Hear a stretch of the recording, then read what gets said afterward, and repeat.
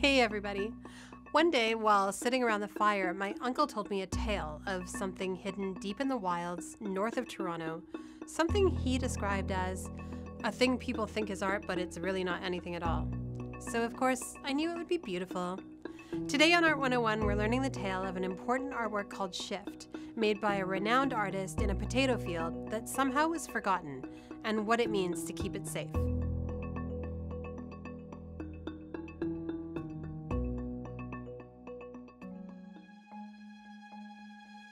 To get to my uncle's least favorite piece of art, you may have to do as I did and go on a quest. Crossing swampy water, scrambling over trees, negotiating an apiary I think is abandoned, but it's still full of bees. Watching out for snakes, climbing over still more fallen trees, you emerge into a clearing where something strange lives. A zigzag of long, weathered concrete walls that look like they're growing out of the ground. They also look like something that's been abandoned for decades. The work is called Shift, and it was made by iconic artist Richard Serra.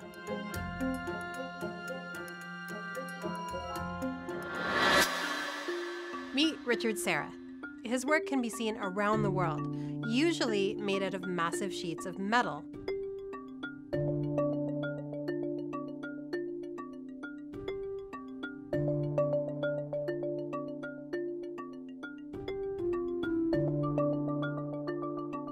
Even find one of his works called Tilted Spheres in Terminal 1 of Pearson International Airport in Toronto, where the section of building it's in was actually designed to accommodate the huge installation. The expanded Terminal 1 is more than a construction project. It's also a place for public art, like this enormous metal structure by internationally renowned artist Richard Serra.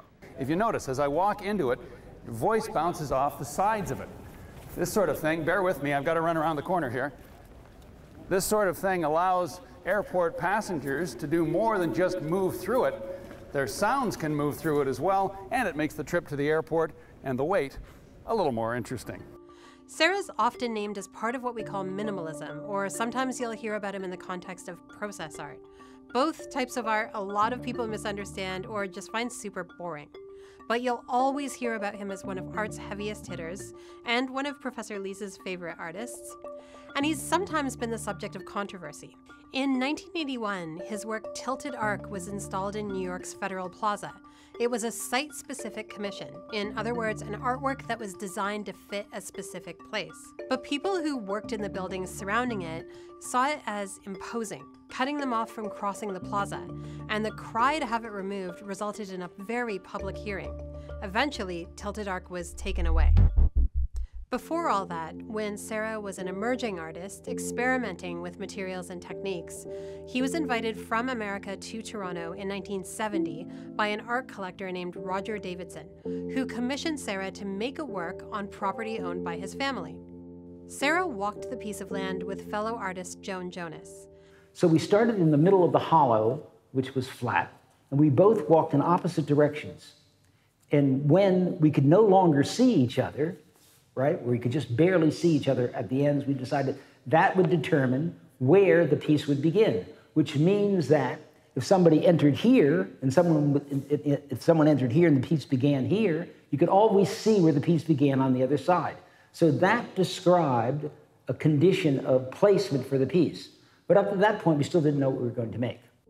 The six concrete slabs that zigzag through the field follow the path they had to walk, shifting diagonally so that they could keep each other in view. It's actually really romantic once you see it.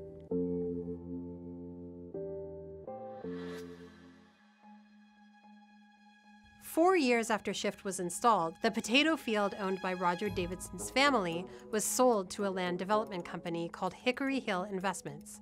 And that began decades during which Shift became less accessible, more vulnerable, and the stuff of legends, both for people who love art and uncles who want new subdivisions on potato fields.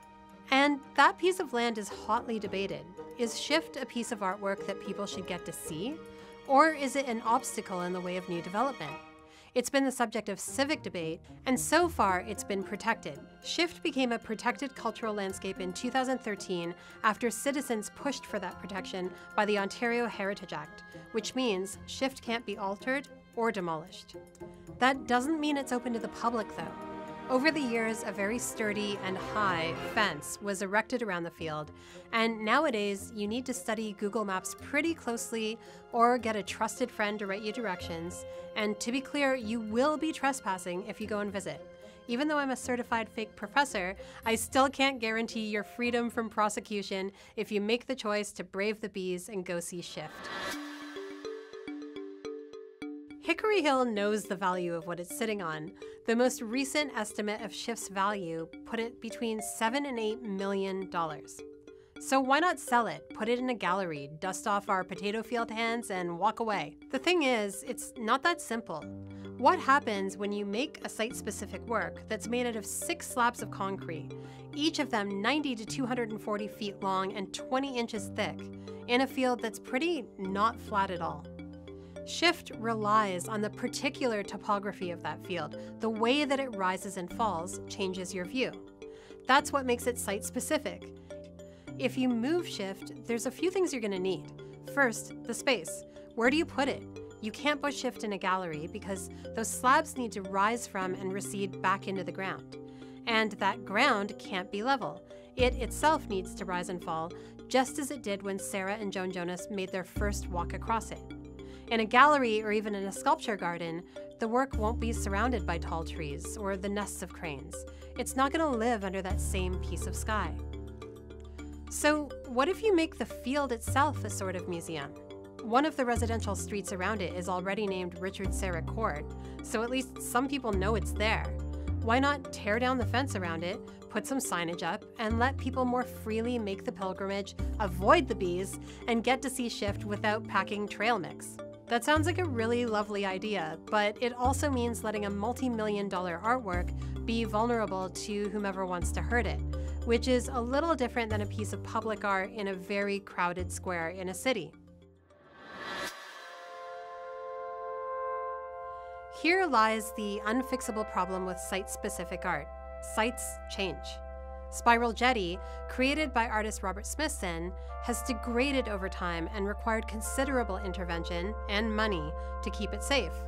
But Spiral Jetty is really famous. It's documented in every art history textbook and every coffee table volume about Earth art. Shift, on the other hand, is a little more like a story passed between art friends around a fire that nobody knew how to make. But there's a sort of beauty in that. The effort put into creating a physical experience in a potato field, something you need to put real effort into seeing, something that takes time to really see, as you walk along the full length of it and see how Richard Serra really thought about the land, the rolling effect of the field, and what it felt like to stand in it on a Saturday. He made that field into a magical place, and you can only find out how magical if you make it there. Do you know about an artwork that time or people forgot? Let me know in the comments, or tell me about another art story you'd like to see broken down in a future episode of Art 101. And of course, hit like and subscribe to make sure you know when the next episode drops. See you next time on Art 101.